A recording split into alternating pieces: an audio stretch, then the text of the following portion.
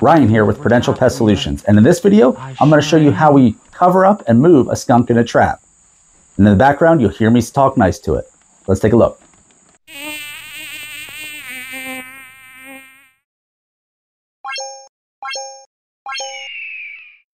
So as you heard in the beginning part there, I, uh, I'm talking all sweet to the skunk. So skunks do not have great eyesight, and a lot of times when they spray, it's because they're scared, just like any defense mechanism we have.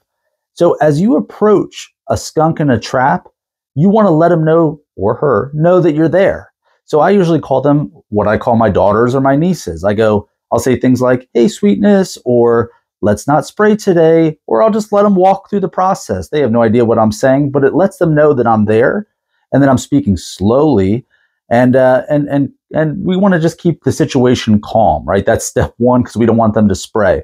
Now, in this trap here, had a solid metal door front, so we're going to approach it from the front, and I'm going to kind of get real low with it. Now, in this case, you can use a tarp, a blanket, a sheet, a towel, whatever. I just had a contractor bag here, but you don't want to just throw it on there because just like if somebody threw something at you, you would, you know, jump, and a skunk's not going to jump; he's just going to spray.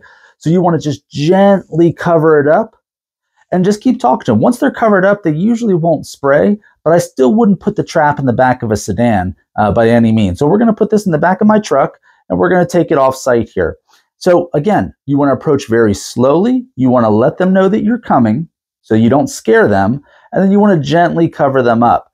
Now, you're going to be surprised at how much dirt they've excavated underneath there. So the trap may be much heavier than you anticipate.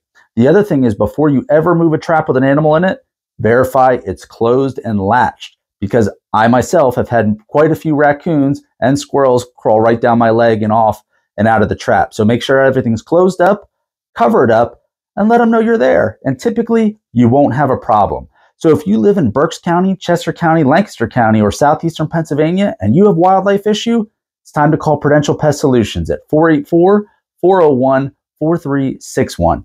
We're a veteran and family owned and operated pest control and wildlife control company. We're fully licensed and insured, and we're veteran and family owned. Can't go wrong with that.